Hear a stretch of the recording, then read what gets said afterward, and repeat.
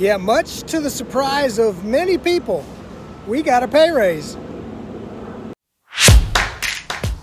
Hey y'all, yeah, that's right, we got a raise this year. And I say it might have surprised some people is because it kind of surprised me.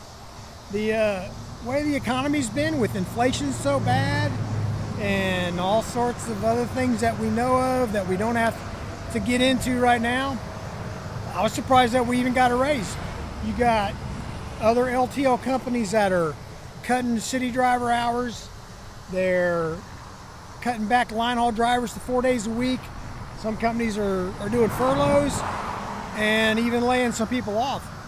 So I guess they thought it was going to be slower. They were being slow. And over here, I haven't really seen it all that much. Now, I know we got some terminals that are slow constantly, I think. And we've had a couple of slow periods in the Dallas region, but for the most part, we've stayed busy. They ask for volunteers to work extra on the weekends just about every week. So I'm pleasantly surprised that we got a raise this year. Now, last year, the company kind of made expectations a little bit too high on, on what we were going to be able to expect on the raises, and they didn't meet the expectations that they set. So there were some upset people over that. And if you're at Saia, if you're on the Saia Facebook page, you can go back and look at all the comments about that. But this year they didn't really give us any expectations. For a long while we didn't hear that we were going to get one or not get one. I guess they were still trying to figure it out. And I remember back in 08, I think it was, when the economy went bad so bad that we actually gave up a few cents per mile in line haul. And it took a few years to get that back. And one year they gave us two raises in the same year, which helped get us back to where we should have been. And now we're probably pretty close where everybody's at. So let's get into the numbers. And first I'm going to say that these numbers are what they're paying in Dallas. And I think it's pretty standard for most the company. There are some regions where they pay more, I think, like Chicago and maybe up in the Northeast, maybe in Florida, I don't know. But I'm assuming the cost of living is higher in those areas, so they pay a different rate. They have to keep up with what the cost of living is up there. Now, don't get me started on what California pays. They do everything a little bit different out there because they have to pay everything by the hour. Even line haul, they don't pay mileage, they pay by the hour. So if you're in California, it. Tell me in the comments how that works. I can't even try to figure it out because I know they got different rates for different things and all that kind of stuff. So anyway, we're going to start with the numbers here, and we'll start with the city drivers, city P&D.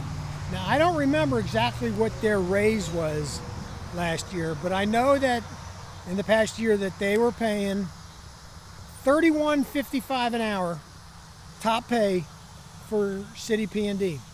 And what they got was a about a 3% raise, 95 cents went up to 32.50. 32.50 an hour. Now you guys in Dallas or the Dallas region that are making this and got this raise in the city, let me know in the comments or catch me on the yard and tell me what you think. If this was what you expected, is it not enough? You know, I'm sure there's all sorts of opinions. Are you glad you got anything? Like some people are just happy to even have a job. So tell me that in the comments on the yard if you see me whatever. Now, line haul miscellaneous hourly, which for a long time I thought we were just getting the same thing what the city drivers got, but it it's not the same thing. The line haul miscellaneous hourly. Last year, I don't remember what the raise was, but in the last year we were getting $29.95 an hour. And that's for breakdowns, delays, if you get delayed in a, in a backup from a wreck or something, construction, you're there for however many hours you get paid after a certain amount of time. Uh, long layovers, you know, and people complain, they say we should get paid for every drop, every time we fuel. More for the, they should, it shouldn't be a wait time for the delays and the breakdowns and things like that. But for me, I don't worry about all that that much because it doesn't add up to a whole lot. It'd be nice, but I'm not going to get all bent out of shape over it. And breakdowns, delays, and all that, I'd rather just avoid that completely and just get paid my regular pay and get home earlier. I'd rather not have a delay and a breakdown. But anyway, $29.95 and I'm not I haven't seen a solid number on what the pay is on that raise, but it's probably 3%, which is standard for the hourly it looks like. And that would bring us to 30, 85 an hour for that kind of stuff. And don't get a whole lot of it like if we get training. I mean, I'm sure it adds up at the end of the year. If I looked at it, it'd be a nice little amount of money. But the most things that I'm worried about as a line haul driver is the line haul mileage rate. Now, last year we got three cents per mile.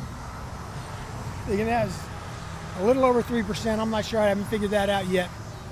This year we got almost three cents a mile. It went from 75 and a half cents a mile to 78.3 cents a mile. Just shy of three more cents a mile. I'm happy with that. Again, I'm surprised that we even got one with the way the economy is going. So hopefully the economy does get better. I don't care what your political persuasion is. You want to see the economy do better. I know what I have lost a lot in is my 401k, and I'm not really happy about that. And that could be a whole other video on why I'm not happy about that. But that's what the raise is. Tell me in other parts of the country what you got. Tell me other companies, how's your raise? And this, these dollars and cents numbers, they're no secret. If you're looking to go to work at an LTL company, you're going to want to know what the top pay is, right? And all these numbers are top pay. You st you're starting out, you're going to start out a little lower on any of these, but these are what the top pay is, and you're going to want to know what those top pay numbers are because that's where you're going to want to get. And you want to know so you can compare to other companies that you're considering going to. So let me know what you think about the raises in the comments. Uh, by the time you see this video, everybody at Saia will know. It'll be a couple days before I get it out. But they announced it yesterday, went into effect yesterday. First check in a couple weeks, it'll be on.